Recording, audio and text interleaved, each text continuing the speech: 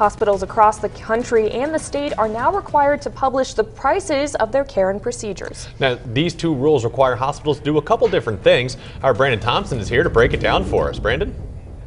Yeah, that's right. So state law last year requires Colorado hospitals to publish their most common procedures and the price for those. The Affordable Care Act requires hospitals nationally to publish every single price, which as you'll soon hear, that can be complicated. The goal is to lower the price of healthcare through transparency, but as one healthcare leader I spoke with says, transparency needs to go a lot further if that's ever going to happen.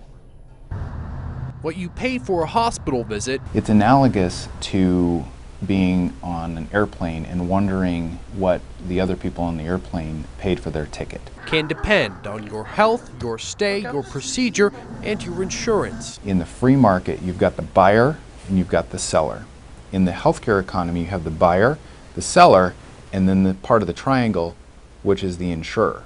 And that changes the entire dynamic. So when you look at this list, there are literally thousands of different procedures and prices, prices you likely won't be paying. Less than 2% of the patients we take care of ever even come close to paying anything near the list price. Because if there's one thing that's settled in the healthcare industry, it's that your healthcare is up for negotiation. Negotiations between your employer, between your insurer, and the hospitals like Davidson's. Hospitals are both sellers of healthcare and buyers of healthcare. We buy implants, we buy medications, pharmacy, we buy devices, we buy labor. So that's where I think uh, added transparency needs to be is in the entire continuum.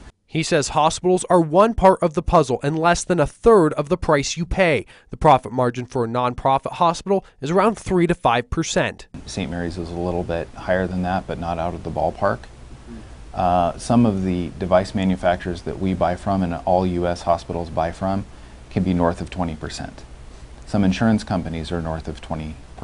And pharmaceutical companies are at that level as well. Davidson calls for transparency because he wonders where his money is going, like when St. Mary's has lowered prices for its care. But if the insurance company does not lower its rates to reflect our cost reduction to them, back to the consumer, they take it home as profit. And this happens all the time, all the time.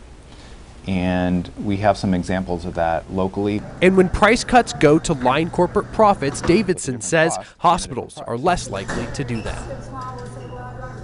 For the most part, both St. Mary's and Community Hospital had their prices published well before January 1st. We'll have links to the local hospital's prices on westernslopenow.com.